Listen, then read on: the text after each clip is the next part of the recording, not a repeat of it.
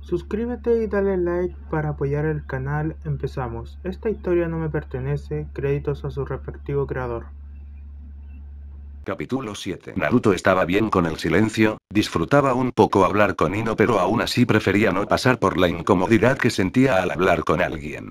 Ya era tarde cuando el equipo de tres hombres llegó a la aldea a la que les habían asignado ir. Era muy pequeño. Solo unas 30 o 40 casas para civiles y un centro de la ciudad que tampoco parecía muy grande. No parecía haber ningún shinobi en la aldea. El pueblo estaba en una sección despejada del bosque donde no había árboles.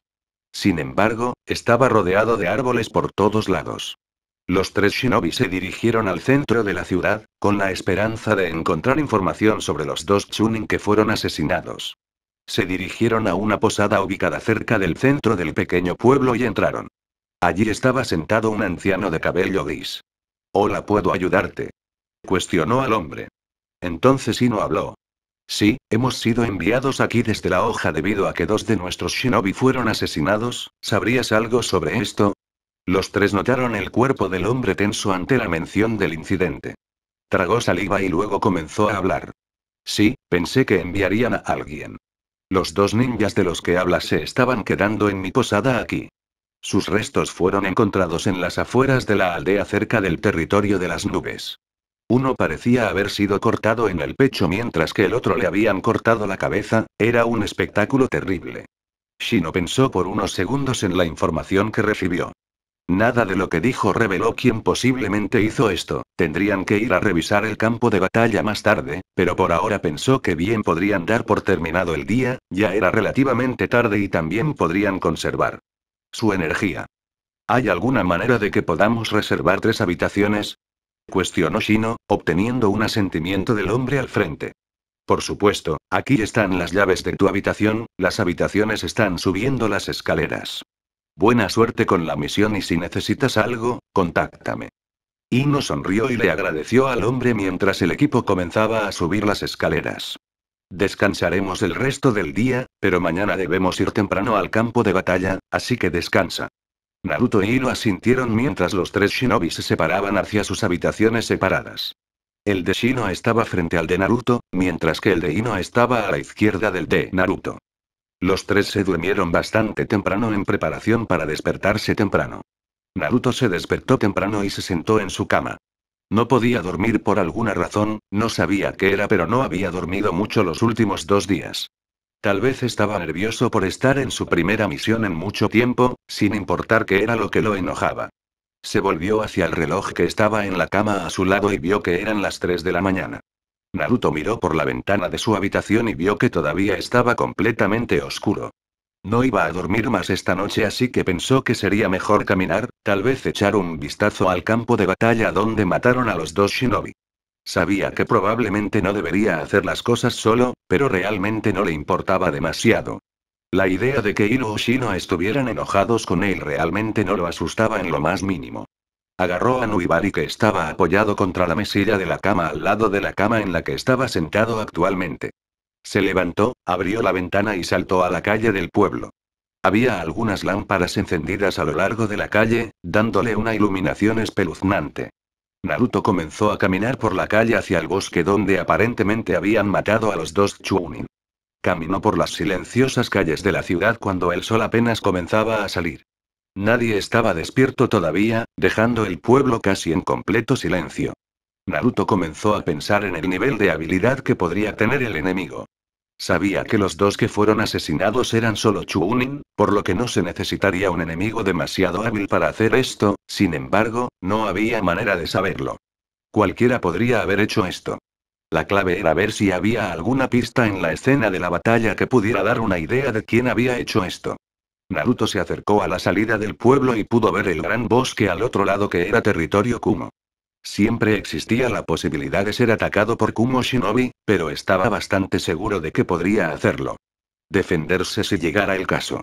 Naruto salió de las afueras de la ciudad y entró en el espeso y oscuro bosque. El bosque tenía un silencio inquietante que puso a Naruto al límite. Sostuvo a Nuibari en su mano derecha, agarrando con fuerza la espada legendaria. Mientras Naruto continuaba caminando por el bosque, comenzó a notar muchas ramas de árboles caídas e incluso un tronco entero en el suelo, lo que supuso que podrían ser efectos de la batalla que llevó a la muerte de los dos shinobi de Konoha. Naruto miró el enorme tronco del árbol en el suelo. El tronco estaba limpiamente cortado, lo que le llevó a creer que se trataba de una especie de espada o posiblemente de un ataque basado en el viento. Naruto continuó mirando alrededor del campo de batalla. El lugar de la batalla tenía muchas ramas tiradas en el suelo, así como el tronco del árbol completamente colapsado, pero todos los demás árboles aún estaban intactos. Naruto miró todas las ramas caídas y notó que también estaban todas limpiamente cortadas. Luego, Naruto escuchó un ruido proveniente de detrás de él e instintivamente arrojó a Nuibari al lugar. Se dio la vuelta y escuchó el golpe de su espada al impactar contra un árbol. Naruto vio a Shino parado junto a Nuibari que estaba alojado en el tronco de un árbol. Debes saber que no puedes irte sin el resto del equipo, dijo Shino. Naruto estaba algo confundido acerca de cómo Shino lo encontró. Naruto casi había dominado el asesinato silencioso, que utilizaba un silencio total al moverse. Naruto se movía con esta misma habilidad por lo que estaba confundido y algo impresionado por el hecho de que Shino lo había encontrado. Te puse uno de mis insectos al comienzo de la misión para poder saber siempre dónde estabas. También le puse uno a Ino, quien debería estar aquí relativamente pronto desde que la desperté. Puedo rastrear dónde estás tú e Ino debido a que mis insectos absorben una cantidad extremadamente pequeña de chakra tuyo. Naruto ahora estaba impresionado, definitivamente había subestimado las habilidades de Shino. Ahora he usado esta habilidad en personas innumerables veces, pero he memorizado la mayoría de las firmas de chakra del novato 9 debido a que la usé en tantas ocasiones, dijo Shino causando que Naruto se tensara ante la idea de hacia dónde iba esto. Tu chakra siempre fue memorable cuando éramos más jóvenes, recuerdo claramente cuando Anko, tú, Ino y yo fuimos a la Tierra del Mar. Siempre parecía malvado o demoníaco, por supuesto que no sabía que eras un Jinchuriki en ese entonces. Naruto. Naruto tiró de los cables conectados a Nuibari, lo que provocó que volviera a su mano. Procedió a bajar la espada a su costado mientras miraba el rostro casi completamente cubierto de Shino. Eres un tipo bastante inteligente, Shino, eres uno de los pocos que me ha descubierto. Shino miró fijamente al espadachín enmascarado que resultó ser Naruto. Descubrió la siniestra firma de chakra proveniente de Naruto un par de minutos después de comenzar su viaje y recordó las misiones con Naruto. Había descubierto el hecho de que Naruto era un Jinchuriki aproximadamente un año después de que Naruto dejara la aldea cuando Tsunade se lo contó a los nueve novatos junto con el equipo Gai. Esto respondió a la pregunta de por qué Naruto tenía una firma de chakra tan siniestra o casi malvada. Shino decidió no confrontar al espadachín enmascarado hasta que estuvo a solas con él, ya que Naruto obviamente tenía sus razones para mantener su identidad en secreto. Ha pasado mucho tiempo, Naruto, ¿te importaría decirme dónde has estado estos últimos años y por qué mantienes tu identidad en secreto? Cuestionó a Shino, quien interiormente estaba completamente confundido acerca de los motivos de Naruto para guardar el secreto y su paradero durante los últimos años que había estado fuera. Te diré lo mismo que le he dicho a todos los demás que saben, que revelaré información cuando esté listo. Te agradecería mucho si respetaras mis deseos y no dijeras ni hablaras de ello. Esto con cualquiera. Dijo Naruto, todavía con la esperanza de mantener al mínimo el número de personas con conocimiento de quién era él. Muy bien, pero espero algunas respuestas a su debido tiempo, Naruto. Todos han estado buscándote y preguntándose por ti. Naruto asintió con la cabeza y aceptó revelar cierta información a tiempo. Justo cuando Naruto terminó de asentir con la cabeza, sintió a Ino muy cerca. Pronto apareció saltando entre los árboles y aterrizó junto a Shino. No puedes simplemente salir corriendo y hacer lo que quieras. Tienes que seguir las órdenes de Shino e incluso mías. Gritó Ino en tono irritado. ¿Quién diablos se creía que era? Ella sabía que él era fuerte, pero eso no significaba que tuviera libertad para hacer lo que quisiera, había reglas que Naruto tendría que seguir si quería volver a ser un Leaf Shinobi. Está bien Ino, he abordado el problema con él. Sigamos adelante y abordemos la misión y dónde estamos. Dijo Shino ganándose un suspiro de hino indicando que había abandonado el tema. ¿Tiene alguna idea o información sobre lo que pasó y quién hizo esto? Cuestionó a Shino, lo que obtuvo una respuesta de Naruto. Por lo que he recopilado de las ramas y árboles cortados, y el conocimiento de lo que les pasó a los dos Chunin, diría que un shinobi o shinobis que usaron Kenjutsu fueron los responsables. Todas las ramas y árboles están limpiamente cortados y los dos Chunin murieron por cortes.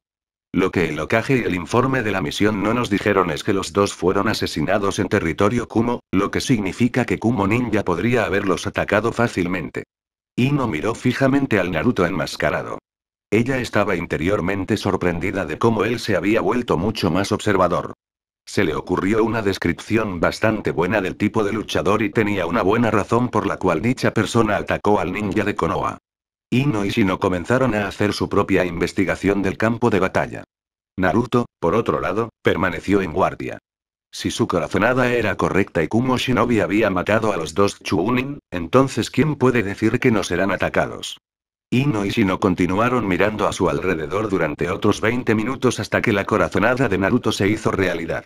Un kunai llegó a la espalda de Ino desde algún lugar del bosque. Ino gira con un kunai en la mano para desviar el proyectil entrante. Naruto y Shino corrieron a los lados de Ino en preparación para el combate. Ustedes parecen mucho mejores que los dos anteriores que entraron en nuestro territorio. Dijo un hombre que emergió del bosque frente a ellos junto a dos mujeres. El chico era de piel oscura y pelo blanco. Una de las dos mujeres que parecía tener aproximadamente la misma edad que un niño y tenía el mismo tono de piel pero tenía el cabello rojo escarlata. La otra mujer parecía mayor que las otras dos. Tenía el pelo rubio corto y unos pechos muy grandes. Los tres llevaban espadas y las tenían desenvainadas. El niño adquirió una apariencia perpleja mientras miraba al hombre enmascarado frente a él. Es un arma bastante extraña la que tienes ahí. Dijo el chico mientras señalaba directamente al Naruto enmascarado. La expresión de la mujer rubia se volvió muy seria una vez que se dio cuenta del arma que el shinobi enmascarado tenía en la mano. Omoi, tranquilo. Puede que esto no sea tan fácil como pensaba. Si ese hombre enmascarado es un poco hábil empuñando esa espada, es posible que tengamos un gran problema entre manos. Esa es una de las siete espadas legendarias de la niebla, Nuibari.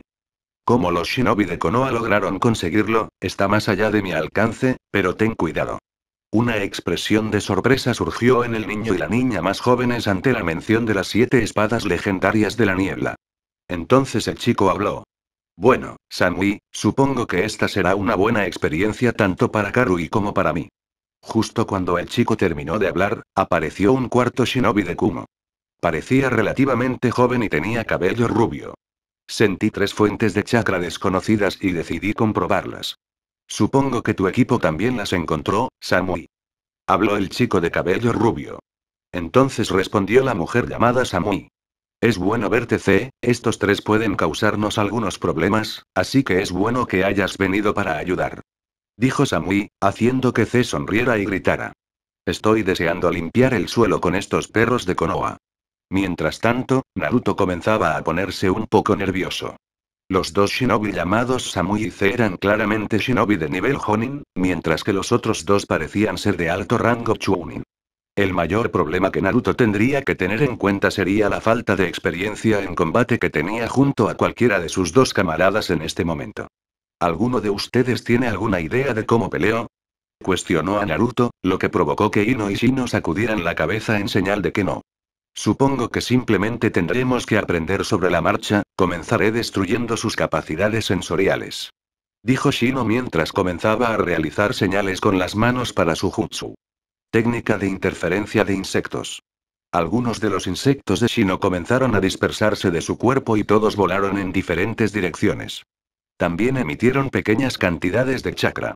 Esto confundiría al ninja sensorial debido a que hay tantas señales de chakra. Z notó que los insectos se dispersaban y comenzó a usar sus habilidades sensoriales para ver hacia dónde se dirigían, solo para descubrir su verdadero propósito.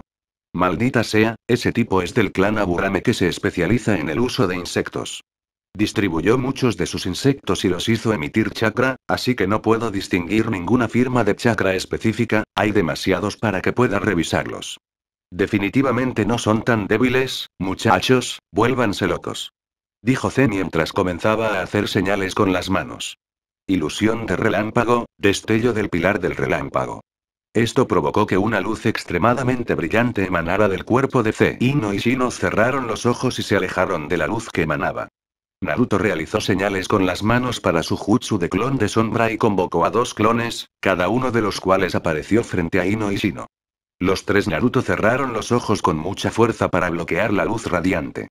Naruto sabía que esto era algún tipo de distracción y supuso que se produciría un ataque a corta distancia. Los tres Naruto escucharon atentamente, intentando captar cualquier ruido que revelara la posición del enemigo. Escuchó tres pares de pasos acercándose y cada Naruto respectivo cargó ante uno de los sonidos. El ruido metálico se escuchó cuando las espadas del ninja de la nube conectaron con Nuibaris. C recordó su jutsu sabiendo que su ataque había fallado. Esto reveló que las espadas de Samui, Karu y Omoi fueron interceptadas por tres espadas Nuibari, todas empuñadas por un Naruto. El espadachín de las tres nubes saltó hacia atrás, lo que provocó que Naruto disipara sus dos clones de sombras. Ese tipo con la espada es fuerte, él solo detuvo nuestro ataque combinado. Omoi gruñó mientras levantaba su espada en posición defensiva. Ino y Shino, voy a necesitar luchar con todas mis fuerzas contra estos tipos si queremos salir vivos de esto. Haré que los clones los defiendan una vez que active mi próximo jutsu, será difícil para ustedes dos. Tenemos que luchar, pero será necesario, estos muchachos son muy hábiles. Susurró Naruto a sus dos camaradas mientras repasaba los signos con las manos para su nuevo jutsu característico. Técnica de la niebla oculta. Una espesa niebla comenzó a descender sobre el campo de batalla. Shiro había oído hablar del jutsu que Zabuza había usado en su lucha contra el equipo 7 durante sus días Genin, aunque nunca lo había visto antes. Lo primero que notó fue que apenas podía ver nada. Su rango de visión abarcaba unos miserables 10 pies. Ino también estaba viendo este jutsu por primera vez y tenía el mismo problema de falta de capacidad para ver muy lejos. ¿Cómo esperas que peleemos contigo si no podemos ver? Gritó Ino, lo que obtuvo una respuesta silenciosa de Shino. Y no, esta es la mejor oportunidad que tenemos ahora, el enemigo es claramente muy fuerte, sin mencionar el hecho de que nos superan en número. Tienen el mismo problema que nosotros ahora, pero podemos obtener una ventaja si Naruto es capaz de luchar. Hábilmente en la niebla. Ino asintió, entendiendo que esto podría darles una ventaja, pero rápidamente se dio cuenta de que Shino se dirigía a Naruto por su nombre. ¿Tú sabes quién es él? cuestionó Ino. Estamos en batalla ahora mismo, podemos discutir esto más tarde. El ninja de la nube rápidamente se volvió cauteloso con la niebla que ahora había envuelto el campo de batalla. Samui frunció el ceño al ver la niebla. Samui se enorgullecía de su conocimiento sobre la historia de los shinobi. Sabía qué armas empuñaban ciertos shinobi e incluso su jutsu característico. Originalmente solo había estudiado shinobi famosos de Kumo, como los hermanos de oro y plata. Pero después de consumir la mayor parte de la información sobre los shinobi famosos de Kumo, amplió sus estudios a shinobi famosos de todo el mundo. Esto incluía a los siete espadachines legendarios de la niebla y sus espadas. Mientras investigaba a los siete espadachines, descubrió que, especializado en asesinato silencioso, utilizando la técnica de niebla oculta para realizar asesinato silencioso. Omoi, Karui, de quien tenemos que preocuparnos es del tipo de la máscara, probablemente usa la técnica de matanza silenciosa, así que siempre mantente en guardia, tú hace, dijo Samui ganando el asentimiento de su compañero Shinobi de la nube. Luego escuchó una voz espeluznante que resonaba a través de la niebla. Pareces saber bastante sobre mi estilo de lucha sin tener que pelear conmigo, eso es bastante impresionante. He investigado bastante sobre los siete espadachines de la niebla, sin embargo, tenía la impresión de que Kushimaru Kuriarare estaba muerto. Respondió Samui, lo que provocó que una risa aguda resonara por toda la niebla. Jeje, bueno, eso sería correcto. Afortunadamente para ti, no soy el o de lo contrario seguramente estarías acabado. Soy el nuevo portador de Nuibari, también conocido como la aguja de coser. Omoi y Karui se estremecieron ante la risa aguda que resonó a través de la niebla, lo que hizo que apretaran más sus espadas. Siento que ya es suficiente charla por ahora, comencemos. Chilló Naruto mientras lanzaba a Nuibari directamente hacia el shinobi llamado Omoi. Naruto sonrió cuando notó que el ninja no vio la espada dirigiéndose hacia él. Desafortunadamente, su sonrisa desapareció en un ceño fruncido cuando las mujeres llamadas Samui corrieron frente al niño. Ella usó su espada para desviar la hoja y alterar su trayectoria para apenas evitar golpear al niño en la cabeza. ¡Mierda!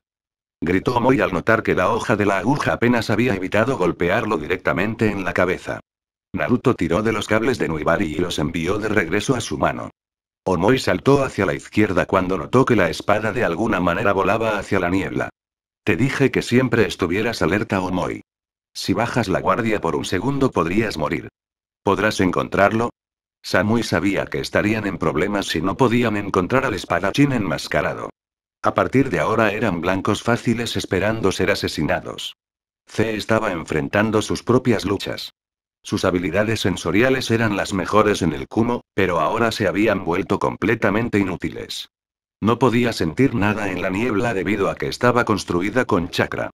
Sin mencionar que el chico del clan Aburame había esparcido tantos insectos que ejercían chakra que no podía identificar a los tres ninjas de Konoha incluso si la niebla no estaba presente. No, mis habilidades sensoriales son inútiles en este momento. Luego, Naruto pasó por los signos con las manos de su jutsu de clon de sombra, lo que le permitió crear 10 clones de sombra. Pensó que probaría las habilidades de Kenjutsu de su oponente. Las mujeres llamadas Samui parecían ser hábiles, pero él no sabía nada de los dos ninjas más jóvenes llamados Samui y Karui. El ninja sensorial llamado Z todavía era un misterio. Obviamente era un hábil ninja de tipo sensorial y aparentemente tenía talento en genjutsu, lo cual se vio en su activación, pero en general seguía siendo un misterio. Los diez clones de sombras rápidamente corrieron hacia el shinobi de la nube. Los cuatro shinobi de Kumo intentaban idear una estrategia para luchar dentro de la niebla, pero fueron interrumpidos por la visión de múltiples copias del espadachín enmascarado con el que estaban luchando. Samui avanzó para encontrarse con los múltiples clones con Karui a su lado. Uno de los clones de las sombras atacó con su copia de Nuibaria Samui. Ella contraatacó con éxito golpeando la hoja de la aguja desde abajo, lo que provocó que los clones se lanzaran sobre su hombro derecho. Luego, Samui golpeó con su espada el pecho del clon, provocando que se dispersara. Dos de los clones de las sombras habían saltado a ambos lados de Samui. El clon de la derecha arrojó su espada hacia sus pies, lo que la hizo saltar en el aire. Una vez que estuvo en el aire, el clon de la derecha arrojó su copia de Nuibaria a la cabeza del shinobi en el aire, sin embargo, Samui arqueó hábilmente su espalda haciendo que la espada se elevara sobre su cabeza. Decapitación frontal estilo nube dijo Karui mientras movía rápidamente su espada hacia uno de los dos clones que había arrojado su espada a Samui y rápidamente lo dispersó debido a que estaba indefenso. Omoi corrió hacia el otro clon que había atacado a Samui y levantó su espada para atacar. Tres de los clones de sombras de Naruto corrieron hacia él por detrás, preparándose para clavar sus espadas en la espalda de Omoi. Sin embargo, esto era lo que Omoi quería. Decapitación inversa al estilo de las nubes. Los tres clones de sombra detrás de Omoi se dispersaron rápidamente, sin esperar ser atacados en lo más mínimo. Samui luego arrojó su espada al clon de sombra restante que carecía de arma y la dispersó. Eso dejó cuatro clones de sombras más. C estaba manejando a dos de los clones de las sombras, logrando apenas evadir las muchas embestidas y cortes rápidos que se desataban sobre él. Al ser un Jonin, pudo soportar el ataque. C se agachó bajo una de las embestidas de los clones de sombra y lanzó una patada, golpeándolo con éxito en el pecho y dispersándolo.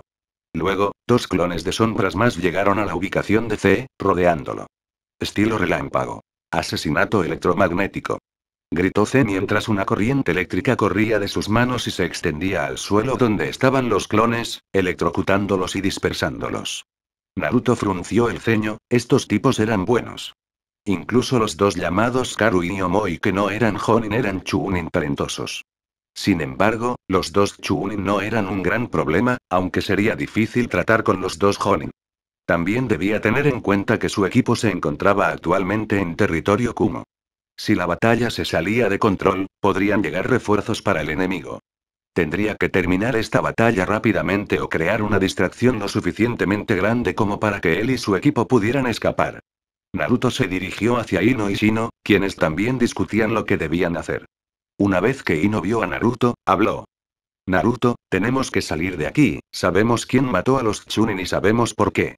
Estamos en una gran desventaja ya que Shino y yo no podemos luchar en la niebla. Además, el enemigo es fuerte, sería inteligente si fueron tratados. Naruto asimiló las palabras de Ino y supo que tenían más sentido. Los enemigos contra los que luchaban no eran fáciles de convencer y la opción lógica sería retirarse. No había nada que ganar con esta batalla, sin embargo, Naruto estaba bastante seguro de que el enemigo no estaría tan dispuesto a simplemente permitirles huir. También estaba el asunto de que él personalmente no quería retirarse. Tengo un plan, y ustedes dos simplemente van a tener que seguirlo. Shino, sé que estás al mando, pero no entiendes mis habilidades ni el nivel de ellas, así que te ruego que tomes el control. Ino y sal de aquí. Si te quedas, resultarás gravemente herido. Shino contempló la declaración que Naruto le acababa de decir. No había tartamudeo ni indicios de duda en su voz.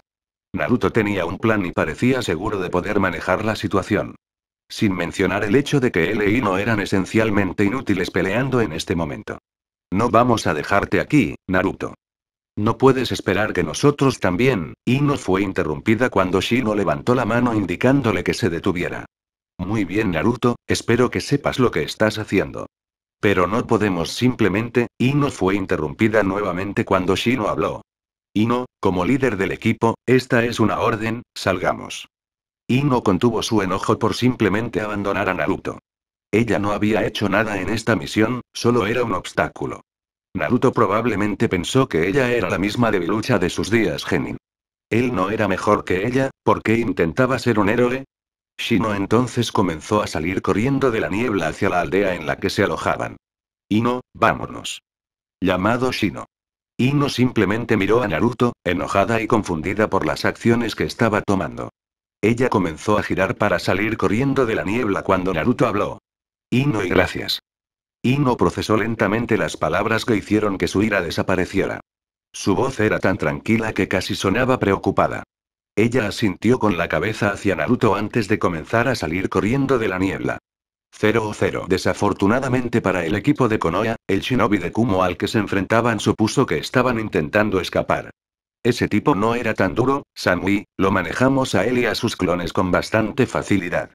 Se jactó Karui después de que derrotaron a los clones de sombra del espadachín enmascarado. Aunque Samui no expresó su opinión, estuvo de acuerdo. Sus expectativas para el espadachín enmascarado habían sido altas al ver a Nuibari, pero por lo que había visto, el hombre no era muy competente con eso. Es cierto que se había enfrentado a clones de sombras, pero aún así fue fácil para su equipo deshacerse de ellos. Escuchó mientras Omoi y Karui hablaban y se jactaban de su reciente derrota de los diez clones de las sombras y su entusiasmo por derrotar al equipo de Konoha. Samui esperó pacientemente a que el espadachín reanudara su ataque pero no pasó nada. Creo que están intentando escapar de Samui. Dijo C, que obtuvo un asentimiento de Samui. C no planeaba dejar que los intrusos simplemente escaparan sin ningún castigo. Los últimos dos ninjas de Konoha que entraron fueron asesinados y no planeaba dejar que estos tres simplemente salieran ilesos. C tampoco quedó muy impresionado con sus oponentes. El único al que se enfrentó fue el espadachín enmascarado y sus clones de sombras no parecían demasiado talentosos. Samui no los voy a dejar huir, los vamos a rematar. Habló C, lo que a su vez provocó que sus tres camaradas asintieran. Estilo relámpago. Unión de cuatro pilares. El ninjutsu no era la especialidad de C, era prolíficamente sensor y médico y prefería usar genjutsu, pero al ser un honin conocía una cantidad considerable de ninjutsu. Al ser médico y sensor, generalmente no se involucraba demasiado con ninjutsu poderosos. El jutsu que usó fue el que más realizó cuando se vio obligado a usar la habilidad. Por lo general, C estaba emparejado con Darui en misiones, quien era una potencia en ninjutsu. El Jutsu que acabamos de usar fue el más útil para él y para Darui en las misiones porque impedía que los enemigos escaparan. Este Jutsu hizo que cuatro pilares de piedra emergieran del suelo. Se pasó corriente eléctrica entre ellos, lo que encerró al enemigo en un área, impidiéndole escapar. 0-0 Shino e Ino continuaron corriendo a través de la niebla incluso cuando sintieron temblores en el suelo. Tenían que salir del campo de batalla para que Naruto pudiera seguir adelante con lo que fuera que estuviera planeando. La niebla comenzó a aclararse a medida que corrían, lo que significaba que se estaban acercando a la salida. Él, cuanto más se aclaraba la niebla, más escuchaban Nino y Shino un fuerte zumbido. A medida que se acercaban a la salida de la niebla, su visibilidad aumentaba considerablemente. Esto les permitió ver dos pilares de piedra gigantes y lo que parecía un muro de electricidad bloqueando su salida. Ino maldijo, no podían salir ahora. Naruto creó cinco clones de sombras después de escuchar un fuerte temblor. El shinobi de Kumo había realizado algunos jutsu pero no sabía qué. Los envió a todos a buscar en la niebla para ver qué ocurrió. Después de un par de minutos, todos los clones se dispersaron dándole a Naruto el conocimiento que estaba buscando. El jutsu que el shinobi de Kumo había lanzado creó una barrera eléctrica que impidió el escape. Esto definitivamente interfirió con el plan de su equipo. La corriente eléctrica impedía que Shino e Ino escaparan. Naruto sabía cómo lidiar con el problema, pero eso lo obligaría a revelar una de sus técnicas más poderosas. Sorprendentemente, no estaba demasiado enojado por tener que usar su siguiente técnica. Extrañamente se dio cuenta de que se preocupaba por el bienestar de sus compañeros de equipo. Bueno, los compañeros de equipo eran una exageración ya que Shino no era tan importante para él. No le importaba el chico, pero no es que tuviera un vínculo cercano con él. Por otra parte, tampoco tenía un vínculo estrecho con Ino. Pero se encontró relativamente preocupado por su bienestar. Seguro que en realidad no habían hablado mucho, bueno, bueno, tal vez eso era quedarse corto, apenas habían hablado entre ellos. Probablemente también pensó que estaba loco y obsesionado con matar. Cuando hablaban, por lo general era bastante incómodo, o sobre cómo la tenía como rehén, pero eso no viene al caso. Independientemente de cómo fue su conversación o lo que ella pensara de él, él se preocupaba un poco por ella. Ella lo hacía reír, lo cual se había convertido en algo raro para él y en realidad lo hacía feliz. Revelar una técnica palideció en importancia para su bienestar. Técnica secreta. Lluvia de niebla. Dijo Naruto, lo que provocó que una fuerte lluvia comenzara a caer dentro de la niebla. Naruto sonrió bajo su máscara. Estos shinobi de Kumo iban a aprender todas sus habilidades. Ino y Shino estaban cerca de la pared eléctrica, ambos pensando en qué hacer para pasar la pared. Sus pensamientos fueron interrumpidos cuando comenzaron a sentir gotas de lluvia caer sobre ellos. Shino, ¿qué está pasando? La lluvia empezó a caer con más fuerza en la niebla. La parte más extraña fue que Shino e Ino pudieron ver que se había puesto soleado fuera de la niebla. Debe ser una de las técnicas de Naruto Kumo Shinobi. La mirada de Shino volvió a la pared eléctrica. Cuanto más lo miraba, más notaba que la corriente eléctrica parecía hacerse más pequeña. Pronto la corriente eléctrica desapareció por completo, sorprendiéndolos tanto a él como a Ino. Q, ¿qué está pasando? cuestionó una Ino extremadamente confundida. Desafortunadamente para ella, no obtuvo respuesta de Shino. Rápidamente salió de la niebla y pasó junto a los pilares de piedra. Ino pronto hizo lo mismo cuando salieron de la niebla y entraron a la luz del sol desde el sol naciente. Debe haber sido el jutsu de Naruto, pero tenemos que irnos. Dijo Shino, obteniendo un asentimiento de Ino mientras comenzaban a correr hacia la ciudad en la que pasaron la noche. 00 C estaba completamente confundido, un segundo comenzó a llover y al siguiente sintió que su técnica Four-Pillar Beam se había vuelto inútil. Era como si el chakra del Jutsu hubiera sido absorbido por el aire. Samui, mi jutsu fue negado de alguna manera, debe tener algo que ver con esta lluvia. ¿Pueden escapar ahora? ¿Tienen alguna idea de qué es esta lluvia? Samui compartió la confusión de C con respecto a la lluvia. No tengo idea C. Naruto sonrió mientras escuchaba su conversación. El Rain era probablemente su segundo jutsu más avanzado que tenía a su disposición. Decidió que ayudaría a sus enemigos con su curiosidad sobre la lluvia que creó. Tengo una idea bastante clara de lo que es esta lluvia, jeje. Dijo Naruto, su voz resonó a través de la niebla. El eco de su voz hizo que todos los ninjas de Kumo apretaran la guardia. Los cuatro estaban algo perturbados por la risa aguda que escucharon. Naruto aligeró la niebla para que los shinobi de Kumo pudieran verlo. Los cuatro entrecerraron los ojos ante el espadachín enmascarado en el momento en que se hizo visible. Lo vieron haciendo girar su espada de aguja en su mano derecha mientras comenzaba a hablar. Esta es una de mis técnicas distintivas, Miss Rain. Como habrás notado, tu técnica de iluminación se volvió inútil una vez que la lluvia comenzó a caer. Esto se debe a que mi Miss Rain devora cualquier chakra con el que entra en contacto que no sea mío. Es un jutsu bastante bueno, ¿eh? Cuestionó Naruto, mientras comenzaba a reír ante la expresión de sorpresa en el rostro del shinobi de Kumo. Los cuatro ninjas de la nube pensaron que era una locura. Un jutsu que inutilizaba todos los ninjutsu. Creo que todos verán ahora que no soy tan débil como creen. Dijo Naruto mientras espesaba la niebla para disminuir una vez más la visibilidad de los enemigos. Esperó en la niebla unos segundos antes de desatar su ataque. Se dio cuenta de que Zei y Samui estaban solos. Mientras que Omori y Karui estaban espalda con espalda. Pensó que comenzaría atacando a los dos Chunin e intentaría acabar con ellos. Naruto se lanzó a toda velocidad hacia Omori y Karui. La diferencia de velocidad entre los clones de sombras y el Naruto original fue sorprendente para el shinobi de Kumo. Omoi notó al espadachín atacante y giró lateralmente hacia los desechos del Naruto entrante. Naruto movió a Nuibari a su lado y bloqueó el ataque entrante. Luego vio otro corte proveniente de Karui, quien bajaba su espada desde arriba, apuntando al hombro de Naruto. Naruto saltó en el aire, evitando con éxito el ataque de Karui. Omoi y Karui ahora estaban volteados y mirando a Naruto en el aire. Naruto arrojó a Nuibari a los desechos de Omoi, quien evitó la espada entrante. Cuando Naruto descendió del aire, empujó el cable de Nuibari hacia afuera, lo que provocó que la hoja se curvara alrededor de Omoi y entrara en la otra mano de Naruto.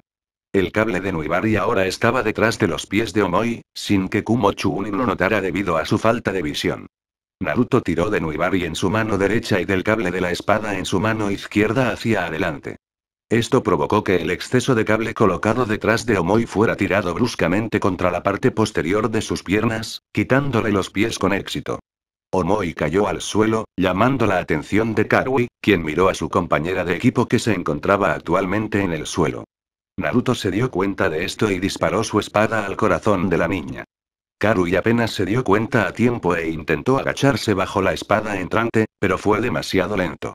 La espada atravesó su hombro izquierdo mientras ella dejaba escapar un grito de dolor. Si no hubiera intentado esquivar a la niña, la habrían matado.